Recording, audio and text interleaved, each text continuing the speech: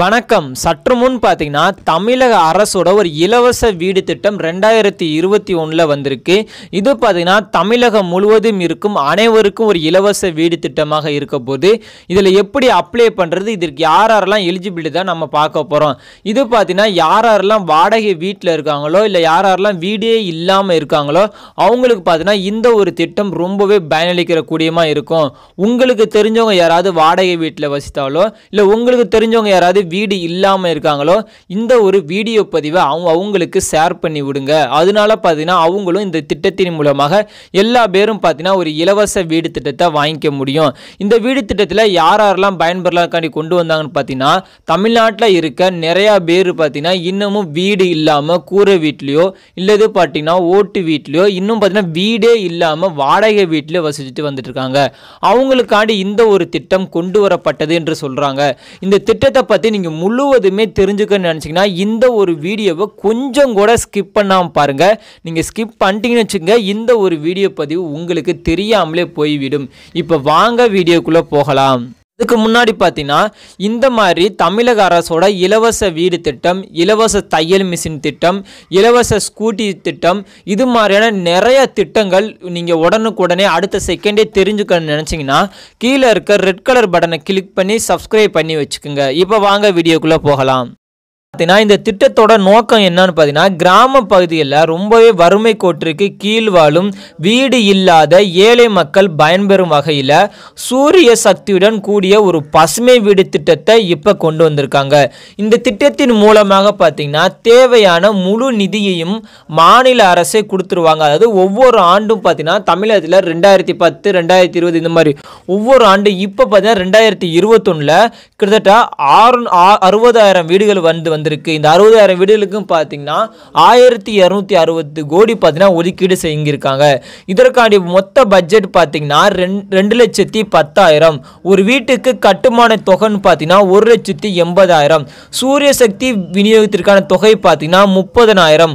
மொத்தம் பார்த்தீங்கன்னா ரெண்டு லட்சத்தி பத்தாயிரம் பார்த்தீங்கன்னா இந்த வீட்டுக்கு கொடுக்க போகிறாங்க இதுக்கு பார்த்தீங்கன்னா யார் யாரெல்லாம் தகுதி வாய்ந்த பயணியாளர்னு பார்த்தீங்கன்னா கிராம பகுதிகளில் வீடு இல்லாத அல்லது பார்த்தீங்கன்னா வீட்டுமனை பட்டா உள்ளவர்கள் வறுமை கோட்டிற்கு கீழ் வாழுபவர்கள் மற்றும் பார்த்தீங்கன்னா மக்கள் அனைவரும் இத்திட்டத்தின் கீழ் தகுதி வாய்ந்த பயனாளர்கள் ஆவர். நல்லா தெரிஞ்சுக்கோங்க. இவங்க மட்டும்தான் விண்ணப்பிக்க முடியும். கிராம பகுதியில் வீடு இல்லாதவங்களும் வீட்டுமனை பட்டா உள்ள வறுமை கோட்டிற்கு கீழ் வாழும் மக்கள் அனைவருமே இத்திட்டத்தின் மூலமாக பயனளிக்க முடியுமா? இத்திட்டத்தோட சிறப்பு அம்சம்னு பார்த்தீங்கன்னா ஒவ்வொருவரும் வீடும் பார்த்தீங்கன்னா முந்நூறு சதுரடி பரப்பளவை கொண்டதாக இருக்கும். அதை தொடர்ந்து பார்த்தீங்கன்னா ஒவ்வொரு வீடும் வசிக்கும் அறை படுக்கறை சமையலறை தாழ்வாரம் மற்றும் பார்த்தீங்கன்னா கழிவறை ஆகிய வசதியுடன் இந்த ஒரு வீடு அமைக்கப்பட போகிறாங்க ஒவ்வொரு வீட்டிலும் பார்த்தீங்கன்னா மழைநீர் சேகரிப்பு ஏற்படுத்தி கொடுத்துருவாங்க. ஒவ்வொரு வீட்டிலும் சூரிய சக்தியுடன் எரியும் ஐந்து விளக்குகள் அதாவது ஐந்து பல்பும் கொடுத்துருவாங்க. கூடுதல் வசதியாக ஒவ்வொரு பயணியாளரும் தமிழ்நாடு மின்சார வாரியத்திலிருந்து மீட்டர் மற்றும் மின்மாற்றி பொருத்தப்பட்ட மின் இணைப்பும் பார்த்தீங்கன்னா இது மூலியமாக பெற்றுக்கொள்ளலாமா? அது வீடுகள் கட்டும் பணியினை நேரடியாக பயணியாளர்கள் மேற்கொள்ளலாம். சூரிய சக்தி விளக்குகள் அமைக்கும் பணி தமிழ்நாடு எரிசக்தி மேம்பாட்டு முகவை மூலம் செயல்படுத்தப்பட்டு வருகிறது. இத்திட்டத்தின் கீழ் இருக்க வீடுகள் கட்டுவதற்கு நிலை எடுப்பு நிலை எடுப்பு எதுவும் செய்யப்பட மாட்டாது. வீட்டுமனை பட்டா உள்ளவர்கள் மட்டுமே இதற்கு தகுதியானவர்கள். அமைக்கப்படும் சூரிய சக்தி விளக்கு மற்றும் அத்துடன் கூடிய இதர உபகரணங்கள் பயனளி பயணியாளர்கள் முறையாக பயன்படுத்தும் விவரங்களை தெரிவிக்கும் சிற்றோர்கள் இதில் பண்ணி கொடுத்துருவாங்களாம். இது மட்டும் இல்லாமல் இதுக்கு பார்த்தீங்கன்னா எது எதில் எந்தெந்த வீடெல்லாம் ஒதுக்கீடு செஞ்சுருக்காங்கன்னா மாவட்ட அளவில் மாவட்ட ஆட்சியர் கிராம ஊராட்சி வாரிய கட்டு கட்டப்பட்ட கட்டப்பட வேண்டிய வீடுகளின் எண்ணிக்கை முடிவு செய்துள்ளனர். இது மூலயமா பார்த்தீங்கன்னா கிராம சபையினால் ஒப்புதல் அளிக்கப்பட்ட வறுமை கோட்டிற்கு கீழ் வாழும் நபர்களின் பட்டியலிருந்து முன்னுரிமை அடிப்படையில் பயணியாளர்கள் தேர்வு செய்யப்பட்டு வீடுகள் ஒதுக்கப்படும்.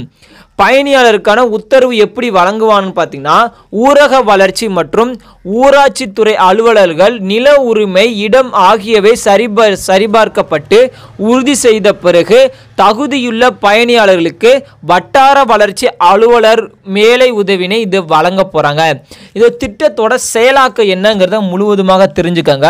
ஒவ்வொரு வருடமும் மாவட்டத்திற்கான ஒதுக்கீட்டின் அடிப்படையில் திட்டத்திற்கான நிர்வாக ஒப்புதல் மாவட்ட ஆட்சியரால் வழங்கப்படும். வட்டாட்சியர் வச்சுங்க வட்டார வட் வளர்ச்சி அலுவலர் அல்லது பார்த்திங்கன்னா வட்டார ஊராட்சின்னு சொல்லுவாங்க. அவங்க மூலியமாக இத்திட்டத்தை செயல்படுத்திட்டு வந்துட்டுருக்காங்க. பயணியாளர்களின் வீடுகளை கட்டுவதற்கு ஒன்றிய உதவி பொறியாளர்கள் தேவைப்படுவார் என்று சொல்லியிருக்காங்க. இதுக்கு பயணியாளரோட தகுதி என்னென்ன இருக்கணும்னு பார்த்தீங்கன்னா இத்திட்டத்தின் பயணியாளர்கள் கீழ்க்கண்ட தகுதிகளை பெற்றிருக்க வேண்டும். சம்பந்தப்பட்ட கிராம ஊராட்சியாக வசிப்பு இருக்க வேண்டும். நீங்கள் எந்த ஊராட்சியில் இருக்கீங்களோ அந்த ஒரு ஊராட்சியில தான் இதில் பண்ண முடியும்னு சொல்லியிருக்காங்க. அதுக்கப்புறம் பார்த்தீங்கன்னா சம்பந்தப்பட்ட கிராம ஊராட்சியில் உள்ள வறுமை கோட்டிற்கு கீழ் உள்ளவர்கள் நிரந்தர காத்திருப்போரின் பட்டியலில் இடம்பெற்றிருக்க வேண்டும். அதாவது வறுமை கோட்டிற்கு கீழே கன்ஃபார்ம் இருந்திருக்க வேண்டுமா? கன்ஃபார்ம் பார்த்தீங்கன்னா முந்நூறு சதுரடிக்கு குறையாத வீட்டுமனை இடத்திற்கு சொந்தக்காரராக இருக்க வேண்டும். அதாவது முந்நூறு அடிக்கு பார்த்தீங்கன்னா நீங்கள் சொந்தக்காரராக இருந்தால் மட்டும்தான் நீங்கள் இதுக்கு அப்ளை பண்ண முடியும். குடும்ப தலைவரின் பெயரிலோ அல்லது குடும்ப உறுப்பினரின் எவரேனும் ஒருவர் பெயரிலோ வில்லங்கமற்ற வீட்டுமனை பட்டா எதுவுமே இருக்கக்கூடாதாம். அந்த கிராம ஊராட்சியின் அல்லது வேறு எங்க காங்கிரட் கூரை போடப்பட்ட வீடு எதுவும் இருக்கக்கூடாது. அரசின் இதர வீடு கட்டும் திட்டங்கள் பயன்பெற்றவராக இருக்கக்கூடாது. அதாவது அரசோட மற்ற இருக்க வீடு கட்டும் திட்டத்தில் நீங்கள் பயன்பெற்றிருக்க கூடாது என்று சொல்லியிருக்காங்க. இதில் இவங்க எப்படி தேர்வு பண்ணுறாங்கன்னு பார்த்தீங்கன்னா பயணியாளர்கள் தேர்வு பட்டியல் தயாரிக்கும் போது மாற்றுத்திறனாளிகள் விதவைகள் கணவனால் கைவிடப்பட்ட பெண்கள் பெண்களை தலைவராக கொண்ட குடும்பங்கள் திருநங்கைகள் ஹெச்ஐவி எய்ட்ஸ் டிபி ஆகிய நோயால் பாதிக்கப்பட்டவர்கள் என துணை இயக்குனர் சான்றிதழ் பெற்றவர்கள் வெள்ளம் தீ விபத்து ஆகிய இயற்கை இடர்பாடுகளால் பாதிக்கப்பட்டவர்கள் மற்றும் மனநிலை பாதிக்கப்பட்டவர்கள் உள்ள குடும்பங்களுக்கு முன்னுரிமை அளிக்கப்பட்டு பட்டிருக்கு அதை தொடர்ந்து பார்த்தீங்கன்னா தகுதியுள்ள ஏழை ஒருவரின் பெயர் வறுமை கோட்டிற்கு கீழ் உள்ள பட்டியலில் விடுபட்டிருப்பினும் விடுபட்ட நபர் வட்டாட்சியர் அலுவலகம் வித்தில் விண்ணப்பிக்கலாம். ஊரக வளர்ச்சி மற்றும் ஊராட்சி துறையில் உதவி இயக்குனர் நிலையில் உள்ள அலுவலர் விண்ணப்பித்தவர்களின் விவரங்களை சரிபார்த்து மாவட்ட ஆட்சியரிடம் ஒப்புதலுடன் அவரது பெயரை வறுமை கோட்டிற்கு கீழ் உள்ள பட்டியலில் இடம்பெற செய்து அதனை கிராம சபையில் வைத்து ஒப்புதல் பெற வேண்டும். இத்தகைய நபர் நிரந்தர காத்திருப்பு பட்டியலில் சேர்க்கப்பட்ட பிறகு பயணியாளர்கள் தேர்வு செய்யப்படும் போது பரிசீலனைக்கு எடுத்துக்கூடப்படும் அப்படின்னு சொல்லியிருக்காங்க. இதுக்கு எப்படி வீடெல்லாம் ஒதுக்கீடு செய்கிறாங்கன்னு பார்த்தீங்கன்னா இத்திட்டத்திற்கென தேர்வு செய்யப்படும் பயணியாளருக்கு கீழ்க்கண்ட விகித சார்பில் பசுமை வீடுகள் ஒதுக்கப்பட்டு வருகின்றனர். அதில் பார்த்தீங்கன்னா ஆதி திராவிடருக்கு இருபத்தொம்போது ரூபாயும் பழங்குடியினருக்கு ஒரு ரூபாயும் இதர பிரிவினருக்கு எழுபது ரூபாயின் அதாவது பார்த்தீங்கன்னா ரொம்ப சதவீதம் பார்த்தீங்கன்னா ஆதி திராவிடருக்கு ஒரு இருபத்தொம்போது சதவீதமும் பழங்குடியினருக்கு ஒரு சதவீதமும் இதர இதர பிரிவினருக்கு ஏழு எழுபது சதவீதமும் ஒதுக்கப்பட்டு வந்துட்டு இருக்கதா இப்போ நமக்கு தமிழக அரசு சொல்லியிருக்காங்க. இந்த திட்டத்தில் எல்லாரும் பயன்பெறுங்க. ஏன்னா இது ஒரு அருமையான திட்டம்னு சொல்லியிருக்காங்க. இது எங்கெங்கெல்லாம் இருக்குங்கிறது எங்கெல்லாம் விண்ணப்பிக்கிறேன்னு சொல்லியிருக்காங்க. மாநில அளவிலும் மாவட்ட அளவிலும் வட்டார அளவிலும் வட்டார ஊராட்சி அளவிலும் எங்கெங்க இருக்குன்னு சொல்லியிருக்காங்க.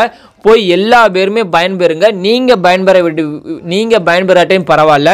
உங்களுக்கு தெரிஞ்சவங்க யாராவது வாடகை வீட்டில் இருந்தாங்கன்னா இல்லை உங்களுக்கு தெரிஞ்சவங்க யாராவது வீடு கட்டாமல் இருந்தாங்கன்னா அவங்களுக்கு இந்த ஒரு வீடியோ பதிவை ஷேர் பண்ணி விடுறது மூலயமா அவங்க இதை பார்த்துட்டு பார்த்தீங்கன்னா அவங்க பயன்பெறுவார்கள்.